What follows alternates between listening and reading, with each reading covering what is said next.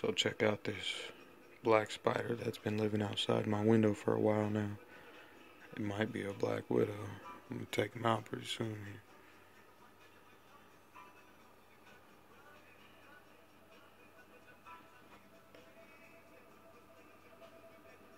Looks like he's stuck. This is my chance. Oh. See that little red dot?